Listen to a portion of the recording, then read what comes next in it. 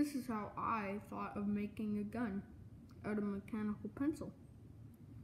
I'll show you. With me firing it.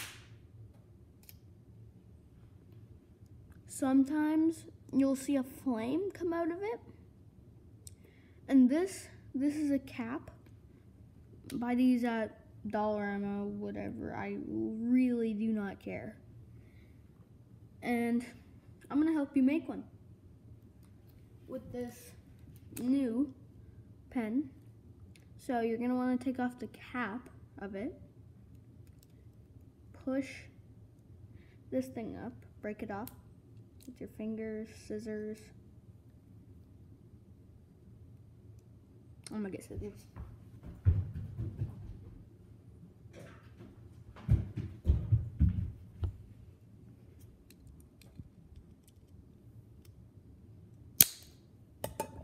Great, cut off.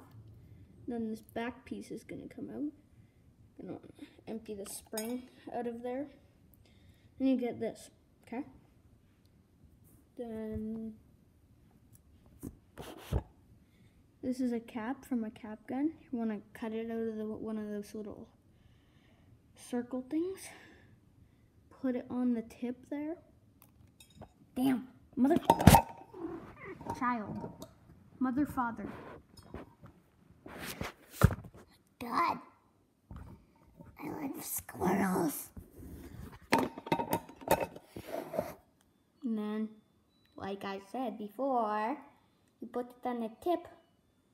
Then you're gonna wanna put it up in the mechanical pencil, how it was before, and then sometimes it'll be a dud, and then, yeah. But sometimes it'll be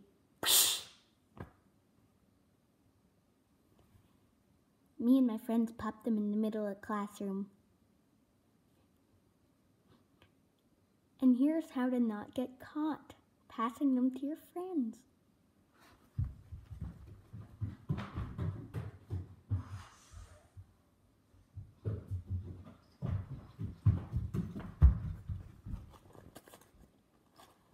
So, take a pencil case,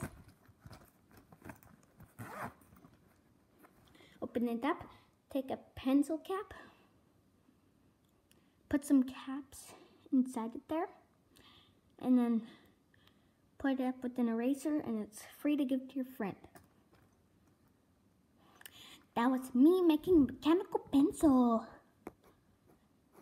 Subscribe for a banana.